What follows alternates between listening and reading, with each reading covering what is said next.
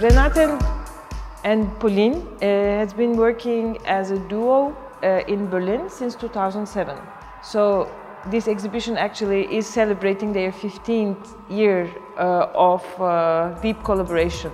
The film installations uh, are forming the backbone uh, of the of the exhibition. Renate and Pauline they both come from film production, from filmic background in a certain way. Their, their main interest is, is the filmic work.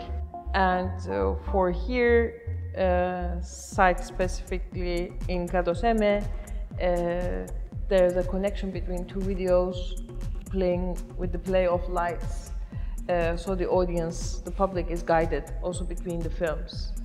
Uh, and uh, in a way, it's an immersive space. It's designed as an immersive space where, uh, where the publics hopefully come in and they lose their sense of time to find a new sense of time, to find a new sense of liberation.